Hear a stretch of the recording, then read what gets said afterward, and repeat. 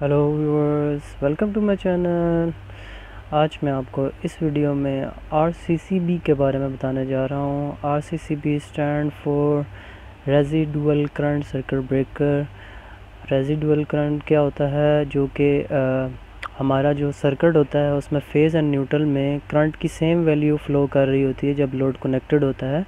जैसे हमारे लोड में कोई फॉल्ट आता है, अर्थ हो जाता है किसी भी वजह से तो क्या होता है करंट के दो रास्ते बन जाते हैं। फेस से करंट आ रहा होता है आगे न्यूट्रल एंड अर्थ में डिवाइड हो जाता है और हमारे न्यूट्रल में जो है करंट की वैल्यू डिक्रीज़ कर जाती है। यानी कि फेस में ज़्यादा करंट होगा और न्यूट्रल में कम।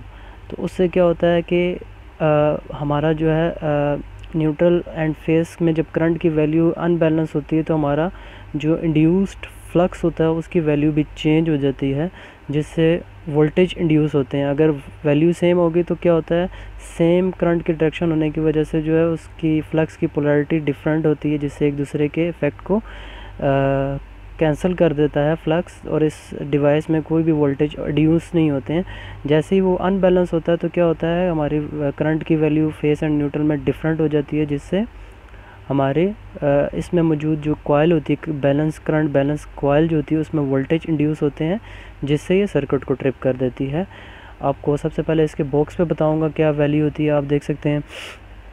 सबसे पहले इसके ऊपर लिखा हुआ है F four P four P मतलब फोर पोल है। Forty ampere four zero ampere यानी कि जो इसके साथ हम लोड कनेक्ट कर रहे हैं, उस लोड की वैल्यू जो है, वो मैक्सिमम फोर्टी अम्पेयर होना चाहिए।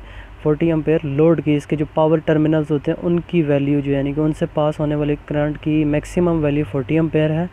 अगर आप इस पर इस डिवाइस पर फोर्टी अम्पेयर से ज़्यादा लोड कनेक्ट करेंगे तो ये ट्रिप नहीं करेगी ये कोई प्रोटेक्शन प्रोवाइड नहीं करेगी। सिर्फ़ क्या होगा ये डिवाइस रपच्चर हो जाएगी यानी कि जल जाएगी। आ, उसकी प्रोटेक्शन के लिए हमें जो है एम लगाने पड़ते हैं पर्टिकुलर सर्किट के साथ। आगे आप देख सकते हैं हंड्रेड मिली अम्पेयर हंड्रेड मिली अम्पेयर जो है इसकी जो लीकेज करंट की वैल्यू जो है, उस पर जब ट्रिप होता है, ये वो value hundred milli ampere hundred milli ampere यानी कि आपके सर्किट में जब हंड्रेड मिली अम्पेयर से ज़्यादा जैसे ही लीकेज होगी तो हमारी ये डिवाइस ऑपरेट हो जाएगी सेफ्टी प्रोवाइड करेगी और हमारा सर्किट डिस्कनेक्ट हो जाएगा। आगे एसी देख सकते हैं एसी मतलब अल्टरनेटिव करंट एसी करंट आगे वन देख सकते हैं मल्टीप्लिकेशन का साइन है, वन यानी कि इस बॉक्स बॉक्स के अंदर एक ही आरसीसी भी है। और आगे आप देख सकते हैं, नीचे हमारे पास residual current circuit breaker operator इस ब्रेकर आरसीसी भी तो इसकी आगे मॉडल नंबर नीचे आप देख सकते हैं, जो कि हाईलाइटेड है। इसके ऑपरेशन वोल्टेज जो है 400 वोल्ट हैं टाइप एसी है। और ये तमाम वैल्यू जो वैल्यूज़ हैं, इस बॉक्स के ऊपर मेंशन होती हैं, जिनको आपका चेक करना ज़रूरी है, क्योंकि इसमें डिफरेंट वोल्टेज भी आते हैं। टू थर्टी वोल्टेज भी ऑपरेटेड होती है, जो कि टू पोल होती है, अगर इसके बारे में जानना चाहते हैं, इसके एंड पे लिंक दिया गया है। और आरसीबीओ के बारे में जानना चाहते हैं, उसके, उसका भी लिंक इस वीडियो के एंड पर दिया गया है। आरसीबीओ जो कि हमारे leakage current plus over current की दोनों की सूरत में प्रोटेक्शन प्रोवाइड करता है। आपको आरसीबी के आर के आर के बारे में बताऊँगा। जैसा कि आप देख सकते हैं ये हमारे पास R C B R C C B है। आ, इसके ऊपर आप देख सकते हैं न्यूट्रल का सिंबल जो होता है हाईलाइटेड होता है क्योंकि न्यूट्रल बहुत ही इंपॉर्टेंट होती है। न्यूट्रल आप अगर इसके साथ कनेक्ट नहीं करेंगे तो ये ऑपरेट नहीं करेगा। इसमें तीन फेस होते हैं जो रेड येलो ब्लू आप ऊपर से इन करते हैं नीचे से आउट लेते हैं। न्यूट्रल से सेम न्यूट्रल आउट करते हैं रेड येलो ब्लू सेम आप आउट करते हैं। इसमें टेस्ट बटन होता है, जो कि इस आरसीसीबी को चेक करने के लिए रेगुलर बेसिस पर टेस्ट करने के लिए ये फीचर प्रोवाइड किया जाता है। आप इसको प्रेस करेंगे तो हमारा आरसीसीबी अगर ठीक होगा तो ट्रिप कर जाएगा। लेकिन ये ऑपरेशन होना चाहिए, यानी कि इसके साथ इसका तमाम फेस एंड न्यूट्रल कनेक्टेड होना चाहिए।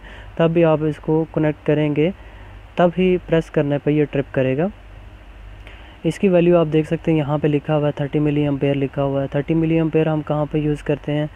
आ, जो अप्लाइंसिस इक्विपमेंट जो ह्यूमन बॉडी के रीचेबल होते हैं वहाँ पे हम ज़्यादा सेंसिटिविटी डिवाइस लगाते हैं यानी कि थर्टी मिली एम्पेयर के लगाते हैं किचन वगैरह में।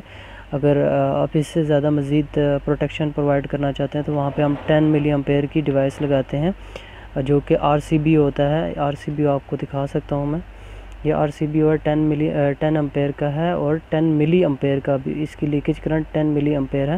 इसके बारे में जानना चाहते हैं वीडियो के एंड में लिंक दिया गया है, कैसे कनेक्शन करते हैं। सो ये दोस्तों थी आज की वीडियो उम्मीद आपको पसंद आई होगी। इस तरह की तमाम वीडियो आप मेरे चैनल पर हासिल कर सकते हैं। Thank you so much great day